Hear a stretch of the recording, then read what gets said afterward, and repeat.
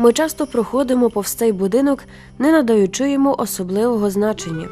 На перший погляд, це звичайний житловий будинок радянської доби. На пагорбі, оточений зеленими насадженнями, він створює враження непорушності, якоїсь монументальної тиші. Здається, він застиг у часі, частково залишився у минулому, так і не звикнувши до сучасного, такого чужого і невідомого.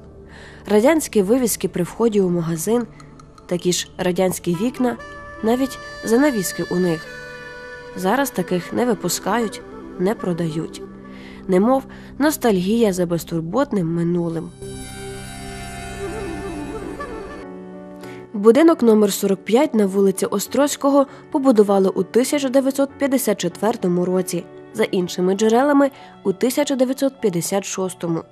Колись отримати житло у цьому будинку було дуже престижно, і чимало людей із партійної верхівки воліло жити тут.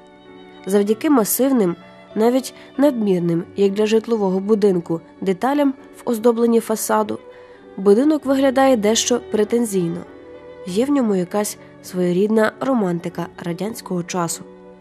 Схожих будівель чимало можна побачити у Києві та інших містах не лише України, а й країн колишнього СРСР. У Тернополі він чи не єдиний, побудований у стилі радянського ампіру. Слово ампір походить від французького, що значить імперія, адже його завданням було навіювати страх перед імперією, демонструвати її величність і непорушність, силу і міць. Але, як кажуть, ніщо не вічне, тому про могутню колись державу нагадують дещо занедбані архітектурні елементи, від яких віє старовиною.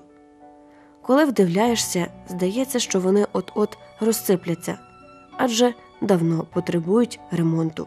Для архітектури 50-х років є типовим е, стиль сталінського ампіру, або як кажуть, класицизму. В Тернополі збереглося чимало таких будинків, зокрема на вулиці Руській.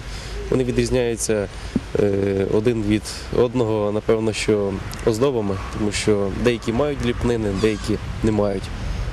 Те, що стосується даного будинку номер 45 е, архітектором якого був е, пан Валовець, то власне зазначають е, путівники про те, що це останній великий житловий будинок в Тернополі, в якому використані архітектурно-скульптурні надмірності при оздобленні фасаду.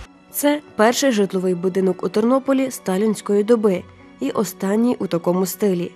Стиль був запозичений в американців. Московські висотки 50-х років були побудовані за американськими проектами, придбаними у США в 30-х роках. І багато радянських архітекторів того часу навчалися у Нью-Йорку. Та згодом влада заборонила будувати схожі будинки. Архітектура стала більш примітивною, простою. Я часто намагаюся старожилів випитувати про ті об'єкти, які вони ще пам'ятають, тобто з їхньої молодості. Я маю на увазі молодості і дитинства, кінець 40-х, початок 50-х. І цей будинок не є виключенням. За деякими даними, він зведений в 54-му році е, в е, стилі сталінського ампіру а не класицизму, як це часто побудують. Ну, побутує така думка. Е, про це мені підказав е, тернопільський мистецтвознавець е, Віктор Хара.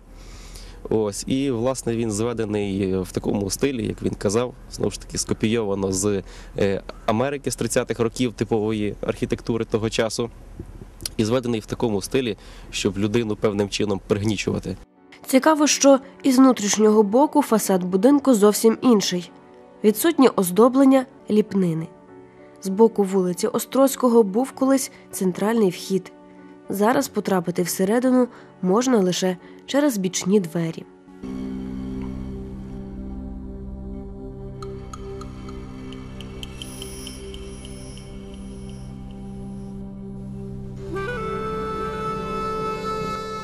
Ми дізналися про архітектуру будинку його історію. Але це ще не все, адже найцікавіше це місце його розташування. Ті, хто проходить повз будинок, і навіть не всі ті, хто тут живуть, знають, що раніше на місці 45-го будинку було єврейське кладовище. Досліджуючи історію цвинтаря, можна дізнатися про історію єврейської общини у місті. Про цей факт нам розповів Тарас Цекленяк.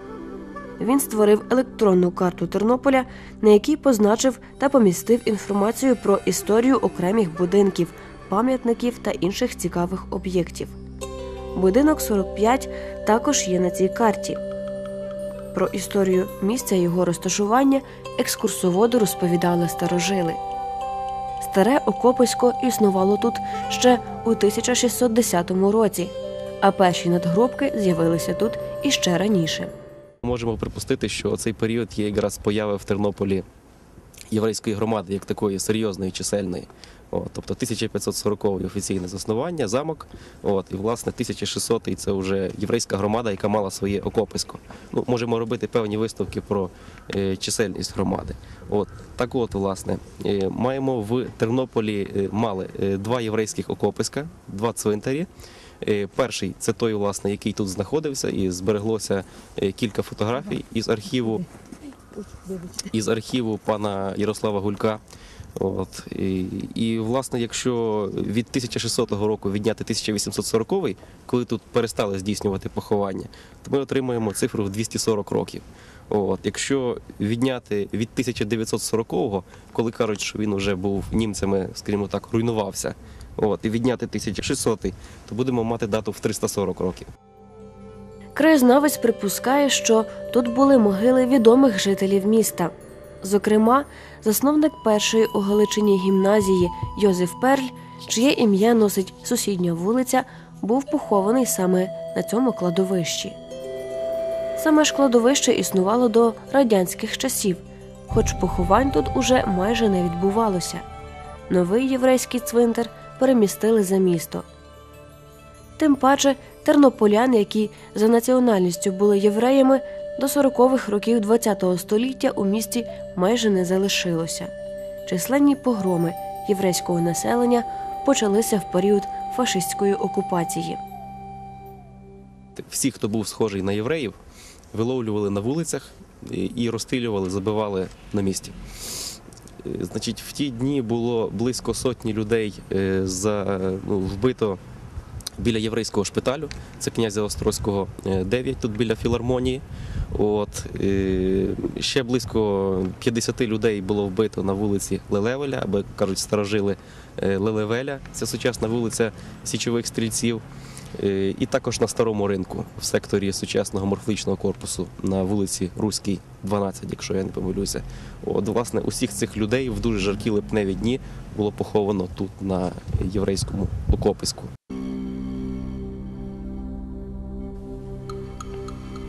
У 1944 році цвинтар зруйнували. Рештки могил ніхто не перепоховував, їх просто зрівняли з землею. А через 10 років на цьому місці звели житловий будинок. Деякі краєзнавці мені згадували, я не можу стверджувати, що ніхто е, перепохованнями не займався.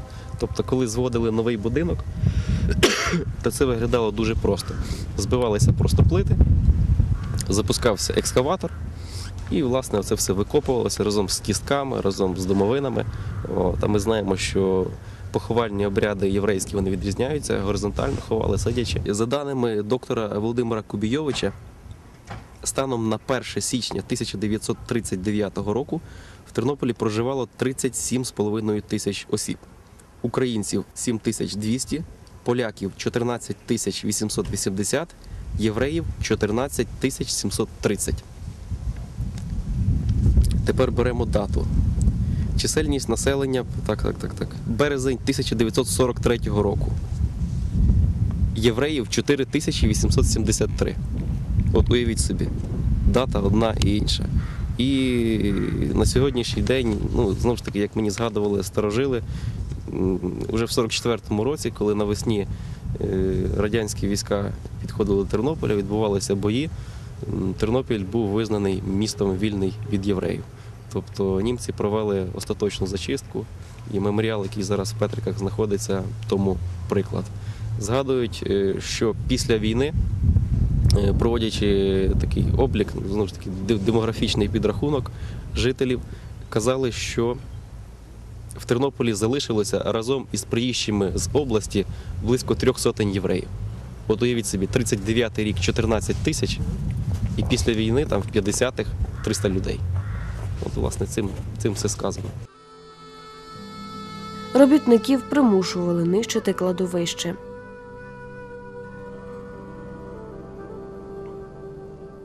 Згадували мені знайомі, ті, хто мав відношення до, до знову ж таки, не, не, не своє, не своя їхня ініціатива. Тобто заставляли, змушували.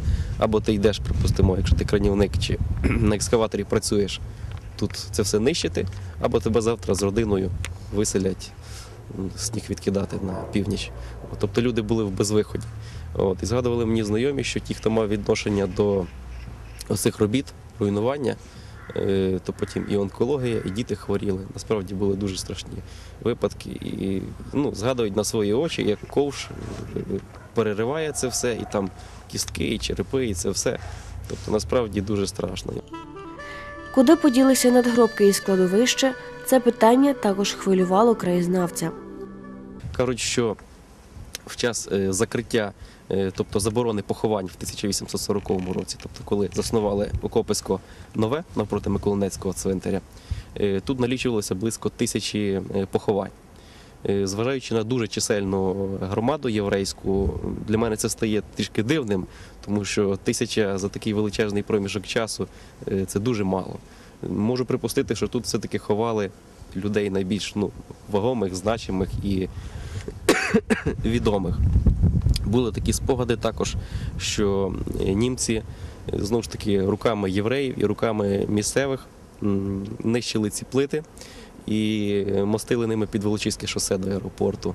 І тернопільські краєзнавці згадували, що на вулиці Степана Бандери, е, коли ремонтували бордюри, то були такі випадки, що знаходили е, плити з гебрайськими письменами. Ну, неважко припустити, що це або плити з цього кладовища давнього, або з того, що містилося на вулиці Миколинецькій.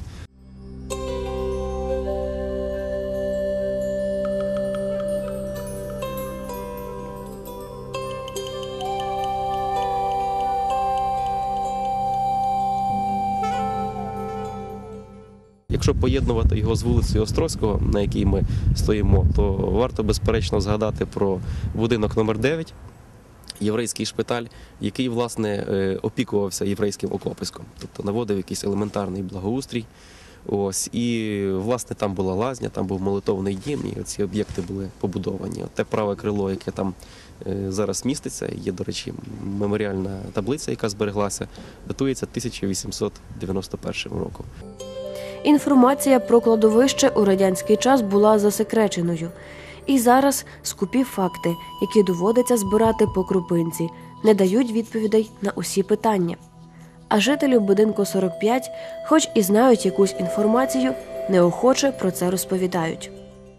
Мені з однієї сторони прикро, що все-таки ті люди, які ще пам'ятають всі ці біди, вони коли пишуть якісь замітки про окописько, то вони настільки бідні і скупі, що складається враження, що взагалі нічого не писали. Але цьому є просте пояснення. Люди досі бояться. Тобто, ну, це якийсь такий уже синдром більш моральний, тому що час був дуже страшний і такі умови заточені. Я потім спілкувався з жильцями, які вже зараз ну, в такому більш свідомому віці дорослому, і вони були дуже здивовані і шоковані, тому що ну, як це не, не дивно чи не прикро, вони навіть не знали, що з цим місцем пов'язана така доля. Казати, чи їм, скажімо так, добре чи погано живеться, бо побутує багато думок, що все-таки на кладовищі ну, не може бути життя, тим більше воно було так по-варварськи зруйновано, я не можу. Тобто мені ніхто не розказував, що там якісь були страшні хвороби. Як, до прикладу, розказували мені жителі, що на місці християнського цвинтаря біля Успенської церкви в будинку трішки вище нього, що там тотальна онкологія. Тобто люди невідомо від чого дуже хворіють. Знову ж таки, я не беруся про це стверджувати, це лише такі відгуки і спогади. Не такою вже й доброю славою користуються будинки, побудовані на місці колишніх кладовищ. Хоча люди живуть тут у силу обставин. Одні не надають цьому особливого значення, інші просто не знають про історію цього місця. Можливо, для декого так краще, спокійніше.